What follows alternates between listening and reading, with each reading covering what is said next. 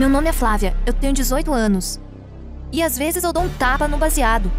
Depois que meu pai descobriu, minha vida virou um inferno. Outro dia bati o carro, eu tava chapada.